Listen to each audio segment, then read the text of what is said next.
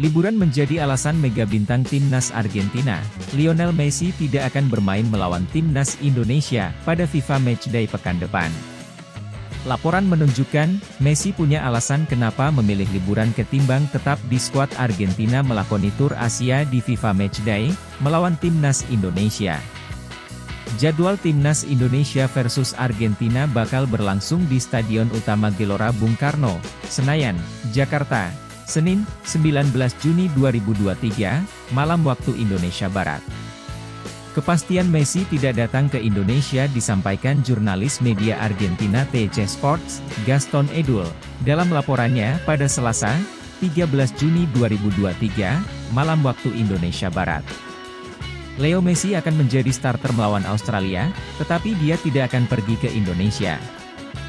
Dia tidak akan bermain pada pertandingan kedua, kata Gaston Edul. Lionel Messi yang juga kapten timnas Argentina itu dikabarkan bakal menjalani liburan usai laga melawan Australia, sebelum memulai musim baru bersama tim Major League Soccer, MLS, Amerika Serikat yaitu Inter Miami.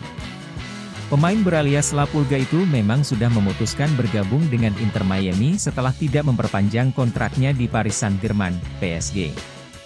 Melansir TC Sports, ada sejumlah alasan Messi butuh berlibur.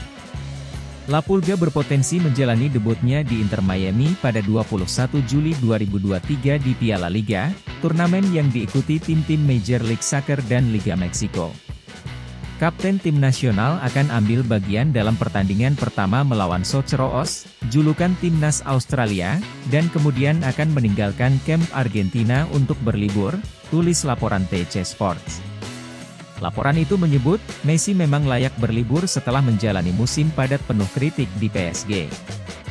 Memang layak setelah musim yang penuh gejolak di Paris Saint-Germain, yang merupakan musim terakhir petualangannya di Paris, lanjut TC Sports.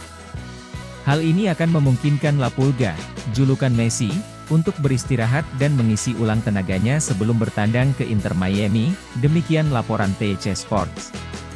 Adapun pertandingan Argentina versus Australia bakal berlangsung di Worker Stadium, Beijing, China, pada Kamis, 15 Juni 2023. Pelatih timnas Argentina, Lionel Scaloni, dikabarkan bakal menurunkan pemain-pemain Piala Dunia 2022 dalam laga tersebut.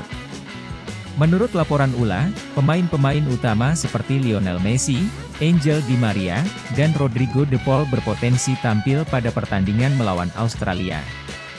Argentina kemudian bakal menghadapi timnas Indonesia di Stadion Utama Gelora Bung Karno, SUGBK, pada Senin, 19 Juni 2023, malam waktu Indonesia Barat.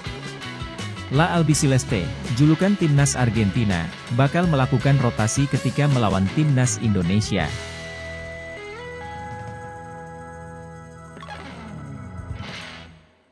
Terima kasih sudah nonton. Jangan lupa like, subscribe, dan share ya.